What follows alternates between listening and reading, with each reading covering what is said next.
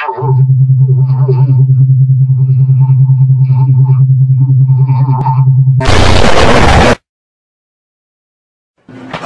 box of tricks, please.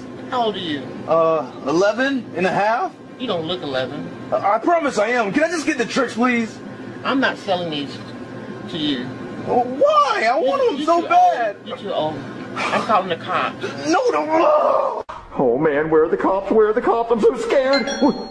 Hello? Hey there, you call the cops? Yes, officer, somebody broke into my house. Oh no. Did they take anything? I don't know, it's, it's just a huge mess. Okay, let's go have a look. See, officer, look! Look at this huge mess! What do you think? Somebody just broke into your house, passed up everything valuable, and decided to make a Froot Loop mess on your counter? Yes! That doesn't happen. Well, it did happen. I want you to find out who did it. Okay, okay, you know what I think happened? What? I, I'm gonna tell you what I think. I think you made this mess, and then you called me because you want me to clean it up. I don't want you to clean it up. Good, because I'm not doing it.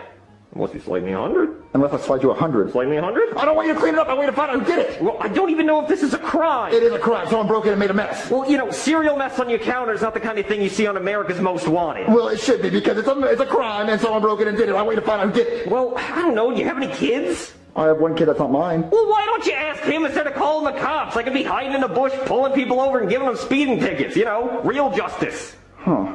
Jeffy did want Froot Loops before he went to bed. Okay, Go.